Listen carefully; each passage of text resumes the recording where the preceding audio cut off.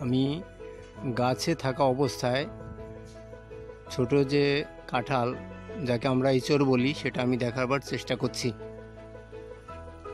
ওই দেখুন, দেখা যাচ্ছে।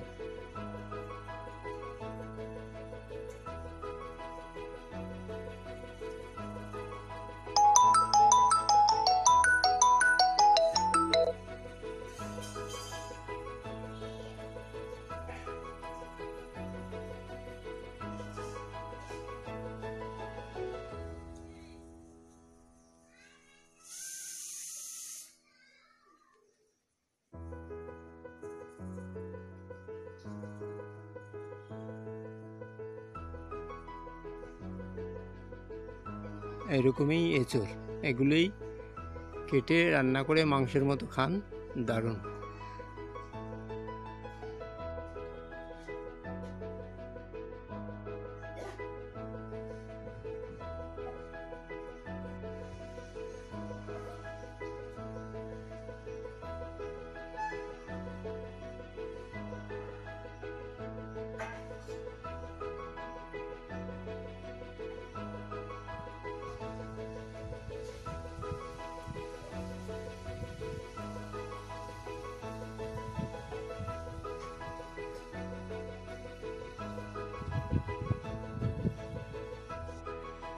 নমস্কার, বন্ধুরা, আশা করি ভালো আছেন।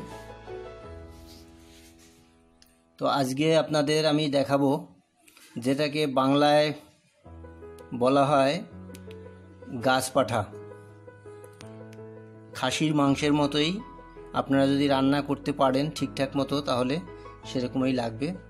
এই যে দেখছেন, এটাকে বলা হয় ইচড়, ছোট জাতের মানে কাঁঠাল খুব বড় হওয়ার আগে, পাকার আগে, সেই পাকার আগ পর্যন্ত কাঁঠালটাকে কেটে এর উপরের যে কাটা কাটা আকারের যে খোসাটা থাকে, সেটা একটু পুরো করে ফেলে দিতে হবে। ভেতরের যে বোটার যে আতিটা পুরো শেষ পর্যন্ত থাকে, ওইটাকে ফেলে দিতে হবে। ফেলে দিয়ে আপনারা এইরকমভাবে টুকরো টুকরো করে নেবেন। তবে একটা বিশেষ পদ্ধতি আছে সেটা হচ্ছে আপনি এই কাঁঠালটাকে, এই কাঁঠালের যে কচি যে কাঁঠালগুলো সেটাকে এঁচড় বলে।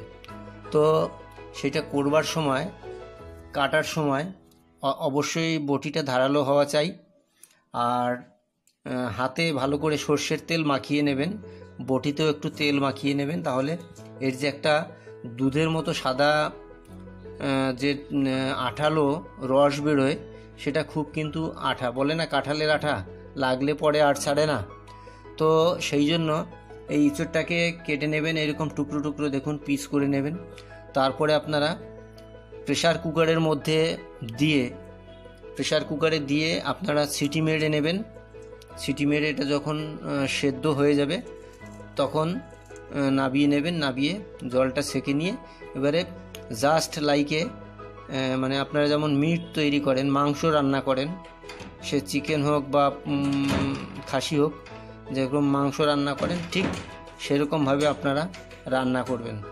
তো রান্না করে ইঁচড়টাকে ঠিক মাংসের মতো সমস্ত মশলা দিয়ে ভালো করে পেঁয়াজ, রসুন, আদা, জিরে বাটা, ধনে হ্যাঁ গরম মশলা সব কিছু দিয়ে রান্না করে আপনারা খেয়ে দেখুন দেখুন, মাংসের থেকেও কিন্তু এটা খেতে ভালো হবে এবং খুব উপকারী। তো বাংলাদেশের জাতীয় ফল কিন্তু এই কাঁঠাল। বাংলাদেশের জাতীয় ফল আকারে কাঁঠালকে বিবেচিত হয়েছে, কাঁঠাল বিবেচিত হয়েছে। আমাদের যেমন এখানে আম, বাংলাদেশে সেরকম কাঁঠাল। তো আপনারা এই ইঁচড়টাকে খান এবং পর্যাপ্ত এর মধ্যে খাদ্যগুণ পাবেন। ইঁচড় খেয়ে দেখুন, খুব সুস্বাদু এবং ভাতের সাথে, রুটির সাথে আপনারা খাবেন। তাই বন্ধুরা, যদি আমার এই ভিডিওটি দেখানো হচ্ছে, যদি আপনাদের ভালো লাগে, তাহলে আপনারাও রান্না করে খাবেন এবং অন্য অন্য বন্ধুদেরও শেয়ার করে জানবার সুযোগ করে দেবেন এবং আমার ওয়েলনেস নিউট্রিশন সেন্টারের সাথে জুড়ে থাকুন। এই করোনা আবহে আপনারা সুস্থ থাকাটাই আপনাদের কাছে এখন একটা, আমাদের কাছে এখন একটা প্রতিজ্ঞাবদ্ধ হতে হবে যে আমরা সবাই মিলে সুস্থ থাকব। এবং প্রত্যেককে সুস্থ রাখব, তাই বাড়ির থেকে বেরোবেন না লকডাউন মেনে চলুন এবং হাত সাবান দিয়ে ভালো করে হ্যান্ড স্যানিটাইজেশন করুন। আর সবাই বাড়িতেই থাকুন, ঘরবন্দি থাকুন, ভালো থাকুন। ধন্যবাদ। নমস্কার বন্ধুরা। আপনাদের ওয়েলনেস নিউট্রিশন সেন্টারে স্বাগত। আপনারা দেখছেন ওয়েলনেস নিউট্রিশন সেন্টার।